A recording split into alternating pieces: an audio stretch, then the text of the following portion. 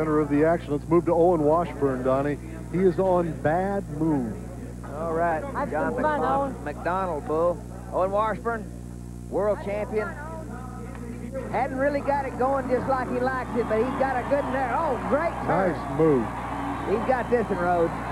What a nice ride. I'll tell you what, he got him in trouble. That little bull kept trying to. There's a good bull ride right there. Right at the whistle, but I believe he's got marking coming. Yes, he does, Donnie. Bucked off his first one. You don't want to count 0 and out. He's just been quietly been winning some money, but not near like he wanted. He really wanted to come back and dominate. He's ridden about 64% of his bulls. Rode him at the wrong time a lot of times. 84, Donnie, for this ride. And that should get him That- to go that on. Might, that, yeah. that might get him back. We've got a couple of those 84s. Hope it doesn't get lost in the shuffle.